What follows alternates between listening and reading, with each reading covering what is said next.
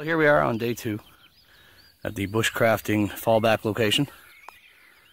I've got the tarp today. I'm going to set up the tarp shelter and reinforce that and uh, just do some general building and see what I can come up with today.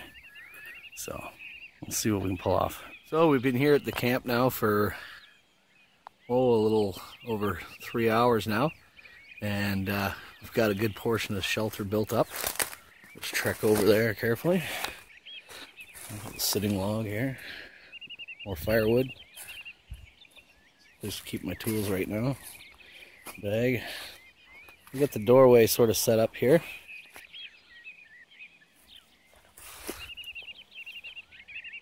Kind of see inside here. It's the side.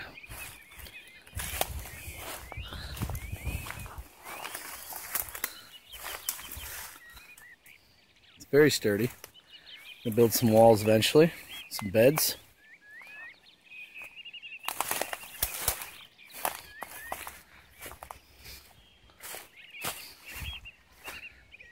I like this view. It shows the dimensions.